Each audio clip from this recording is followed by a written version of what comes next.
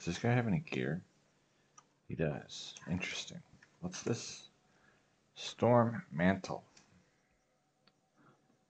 Wow. Amazing. Um, what am I wearing? I probably don't even want to know. Oh my gosh. I did not want to know. Wow. Okay. Uh, what am I working on? Khalim's heart and the sewers. I have the eye and the brain. Okay.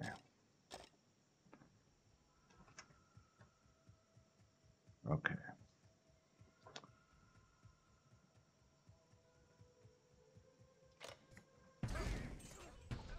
So this is my Amazon in 1.14 using the 1.0. Oh, I need players 8.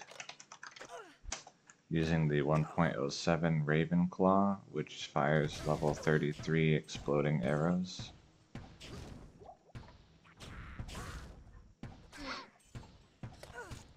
And she is going to be used for trying to run Travincal. Um, as a way to farm high runes and facets. So I think the interesting pieces of gear that I hope to make for her are a 1.07 crafted glove with 3 to bow and crossbow skills and 20 attack speed and I might try to make it a caster crafted glove. I'll have to look into that. Because uh, the caster crafted glove might have mana per kill. But ultimately I can just give her a mana per kill ring. Um, so probably Bloodcraft.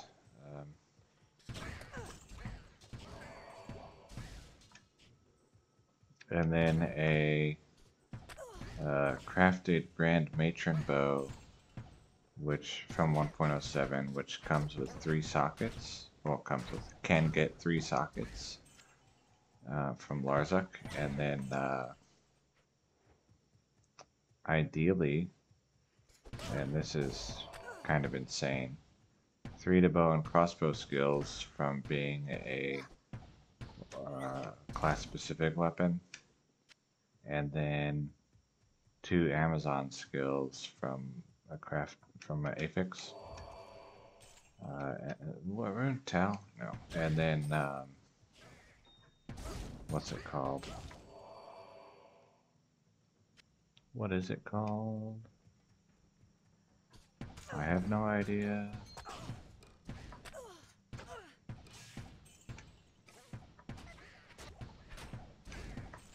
What was I saying? We're talking about gloves. Wow, what were these staff mods? Chain lightning, static. Um, no, we were talking about the Grand Matron bow. Oh yeah, and then the 40% increased attack speed. And then um, I would probably want some enhanced damage on there uh, because she'll have strafe as a alternate but it might be that uh, I do a call to arms Grand Matron bow switch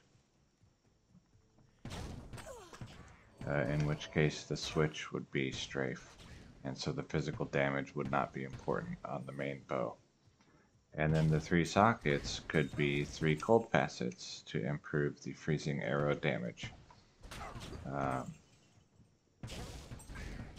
I think that would be pretty. Be able to compete nicely with the ice rune word. If okay. Um, and then she could potentially have a crafted amulet with three to bow and crossbow skills but that's a much less priority item for me. Um, it might be that the High Lord's Wrath, the 1.08 High Lord's Wrath is better for the Deadly Strike and faster run walk. I think it has both.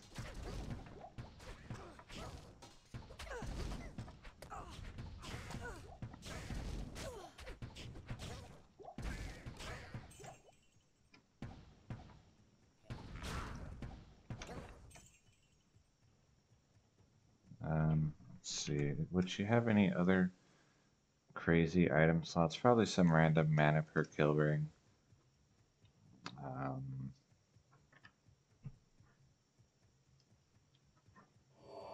because the mercenary will need to be conviction, so it won't be uh, what's it called? An insight. That's the word. Man, if you followed everything I just said, wow, congratulations. Uh, oof, boy, that was impressive. What a rundown of two items. I feel like it is an appropriate time to say sometimes I amaze even myself.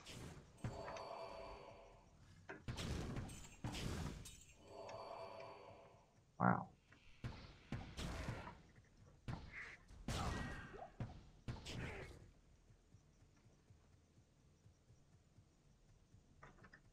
I don't need that waypoint.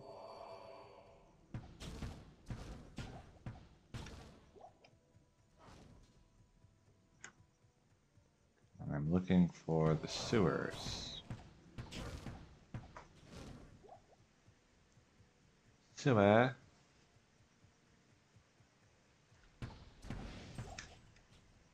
Here's a sewer. Um, someone told me how to make sure I always find the ruined temple uh, and not go in the wrong temple. Um, I don't remember what they said. Something about it always facing the same way. I can look at Grand Charms. Excuse me.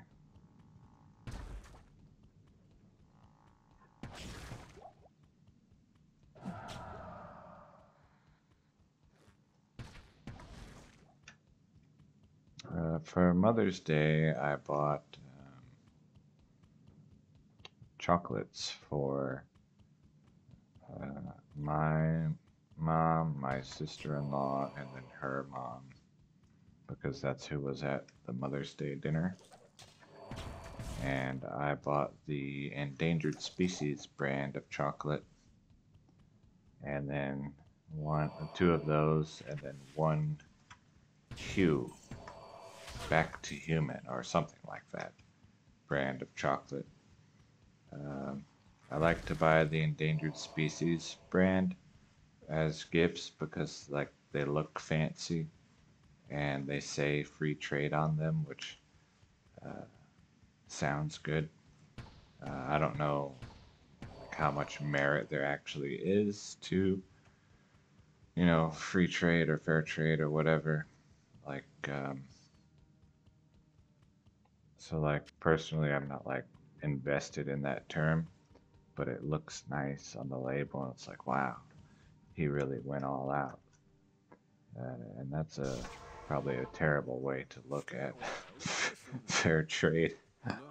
wow, he went all out. Amazing. Ooh, I'm on a roll today.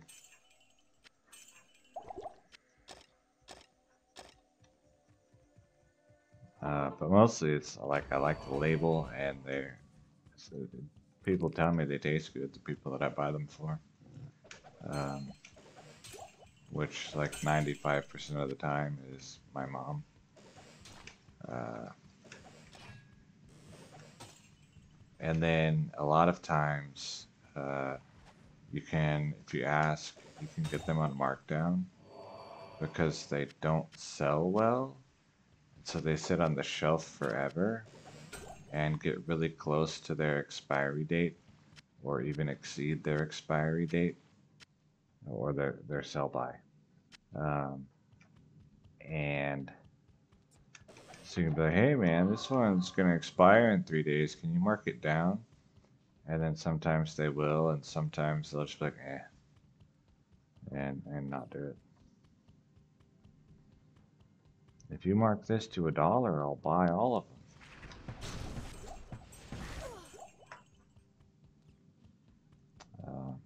But sometimes they'll just go ahead and leave it on the shelf after it expires and sell it anyway.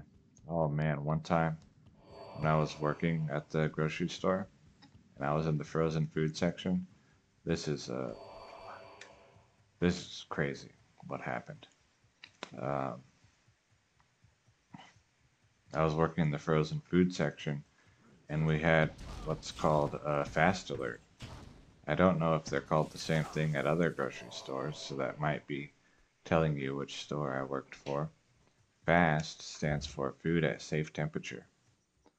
Uh, and so the fast alert goes off if the computer detects that some temperature controlled unit in the building, a refrigerator or a freezer or a, a cooler like the meat cooler or uh, like the milk aisle or whatever, is not at an appropriate temperature range for the product that's in it. And one of the, you know, the products that I had was ice cream, of course, because I was frozen foods. And the safe temperature for ice cream, if I remember correctly, it's like minus 10 Fahrenheit but maybe it was like minus 10 Celsius and it was like 20 Fahrenheit. I can't remember. It's been so long. Well, not that long, but pretty long anyway. Anyway, um, so whatever that temperature was, right? Uh, but I worked at night. The fast alert started during the daytime. And so I asked my supervisor, like, hey, are we going to deal with this? It's been going off for like it started at like 10 a.m. and nobody had looked at it all day. And, uh, well, that's not true. Someone had acknowledged it. They logged into the computer and looked at it and clicked on it. Uh, you can look at it without clicking on it, and then there's no record of acknowledgement. But they clicked on it. So there was record that they had acknowledged it, which means that they are now responsible to do something about it. And he was like, no, man, that dude acknowledged it.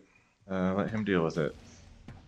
And he acknowledged it at 10 a.m. We came in at 10 p.m. and it was still fast alerting. And so we just left it alone and didn't say anything and did not acknowledge it. And the ice cream temperature, is this the one? Was, was like 32 degrees or something, like barely freezing. Uh, which is not safe temperature for the ice cream. And uh, and then the next day we came in, and the fast alert was still going off for the ice cream freezers, and nobody else had acknowledged it after that first guy at like 10 a.m. And so now it's been like more than a full day and our food was not at safe temperature. So then we came in the third day, and the temperature in the ice cream freezer doors was 62 degrees Fahrenheit. So, and all of the ice cream was completely melted in those three doors. Um, and still no one else had acknowledged it. And so we fixed what was wrong with the freezers without acknowledging it. And the temperature went back down. And then we told the store manager what had happened and that all of the ice cream had completely melted. And then refroze two days later. I guess this was the wrong temple.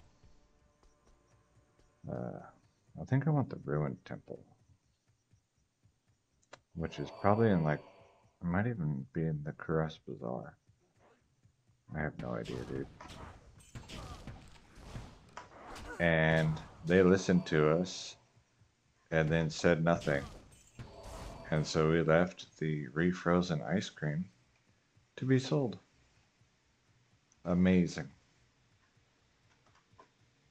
Uh, if you want to know if your ice cream has thawed out and then refrozen before you buy it, um, whenever you go buy ice cream, especially if you buy it regularly, start squeezing the ice cream container and uh, you'll get a feel for like the squishiness of it.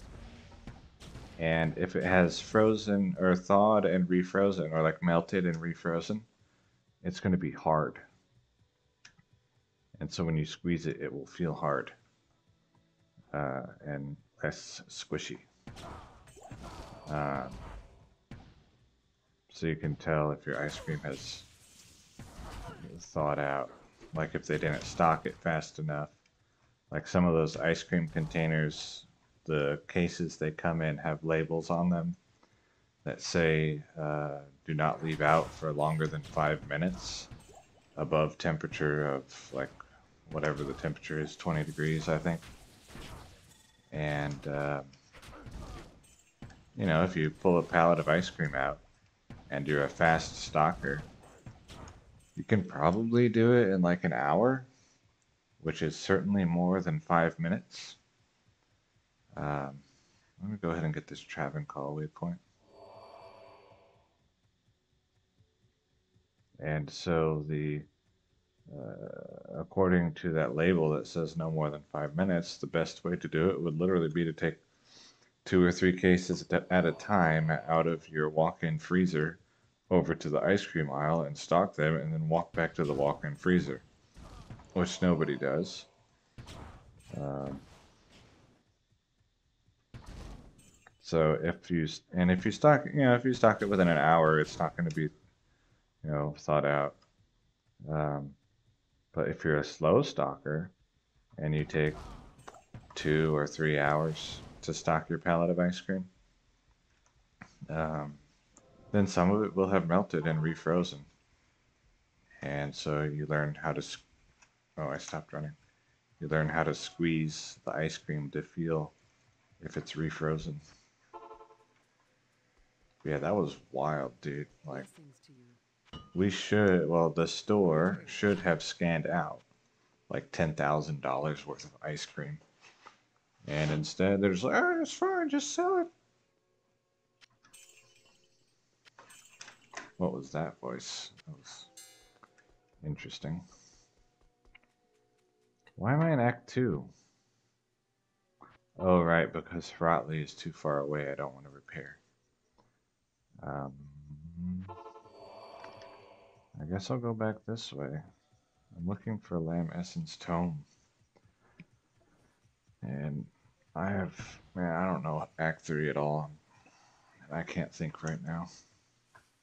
Look, I can't even run through.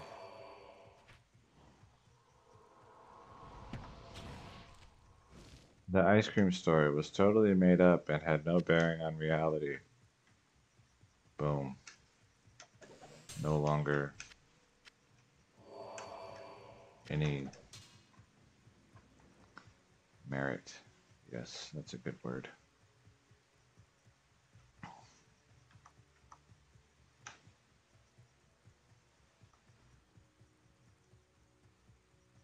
But if it had been real, that sure would be crazy.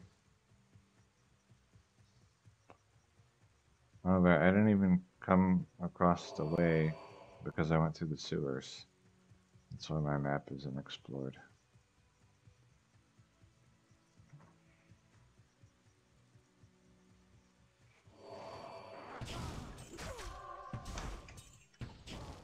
Another thing that didn't happen is when one of my coworkers threw a can at me over the aisle, like from their aisle to my aisle, and knocked off a glass jar of beets and all the beet juice spilled on the floor.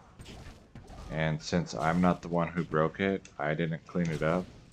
I remember the store's closed when I was stocking. It's at night, so there's no risk of customers slipping.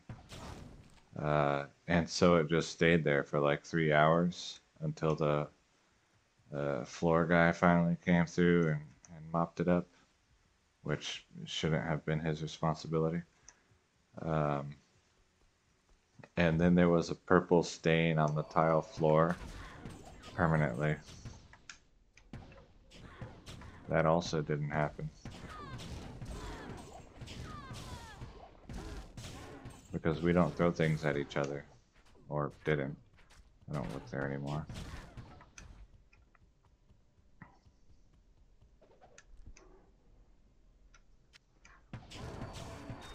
And I never did. Definitely. There. Was I even carrying a gem? Nope. Okay, that's what I wanted. Lam Esen's Tome. You? Um, I kind of want to just go ahead and finish Act 3.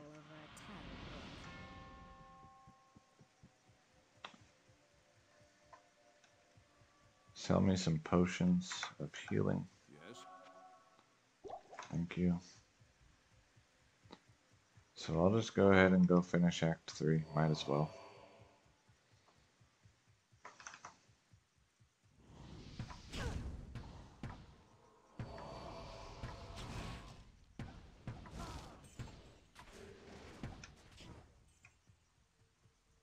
And even if any of those stories were real, I probably misremembered them. Yep. Hey, don't touch me.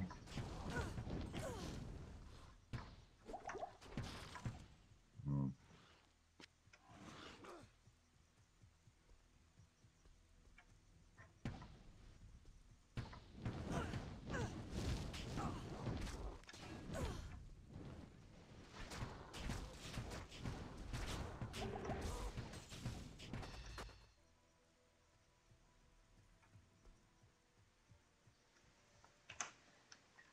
I have seen this raven claw called Raven Bazooka.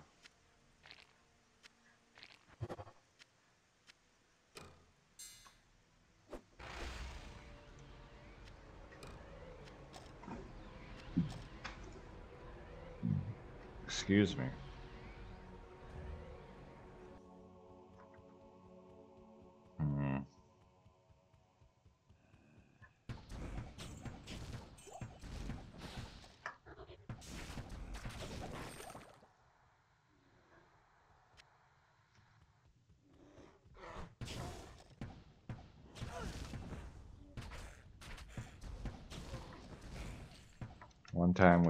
Ice storm, and you know during ice storms, um,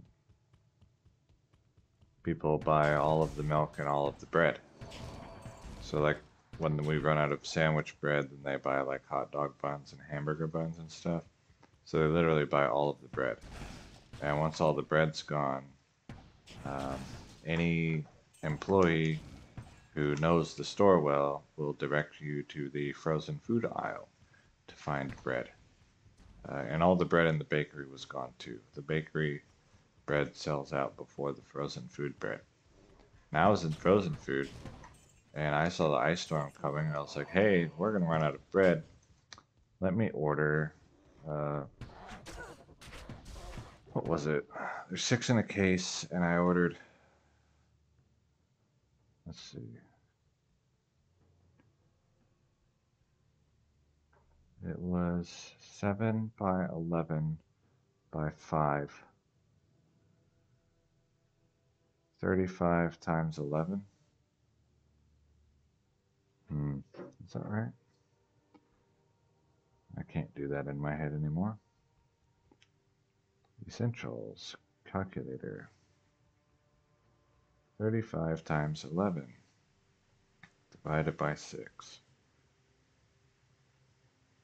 Okay, so I ordered 65 cases, uh, or there, I probably ordered 70 or 60, probably not 65. cases of Ezekiel bread, um, which is like the sprouted wheat flour bread in the frozen food section. So it's like, uh, I don't know if it's gluten free, but it's like, it's okay for gluten intolerant people. I don't know if it's in, it's okay for celiac people. Um, and so they had, what did I say? Let's see, times six. Uh, about 400 loaves of Ezekiel bread, which when we sold, it was not on sale. Oh, no, actually it was on sale uh, at the time. And so we had a $1 profit margin on each loaf of bread. And I sold it all. So good at my job. Because it was an ice storm and, and people needed bread. And I took, you know, I took out one of the end cap doors in the frozen food section that was on the planogram and filled it instead with the Ezekiel bread in a one of the sides of the aisle that faces where people regularly walk by so that they would see the bread. And then I went and posted signs on the bread aisle. And said, bread in the frozen food section, aisle whatever. Uh, 20? I think it was aisle 20. Um, in the computer, it was aisle 15, but it was aisle 20.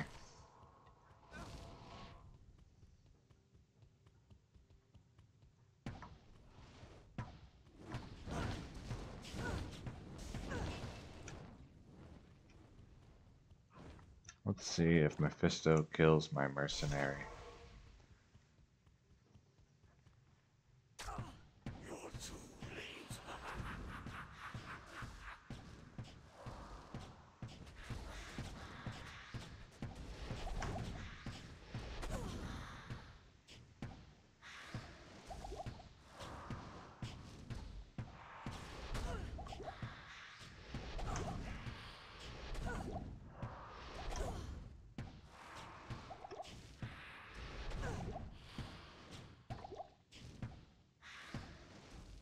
Let's see if Mephisto kills me. Oh. Am I seriously about to moat trick him? No, I'm not. Good. That would have made me sad.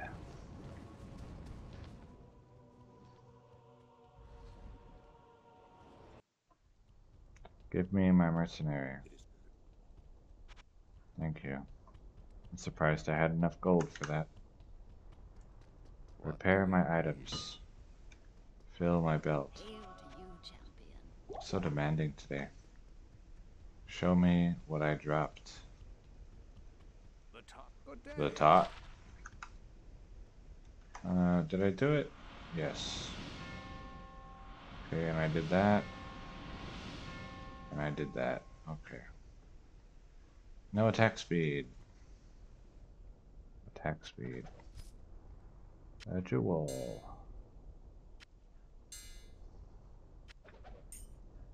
I don't know why I'm picking up uh, Grand Charms. Alright, good progress. Ooh, level 30. I can pick Pierce. Cool. Alright, I hope you enjoyed my stories and my gaming.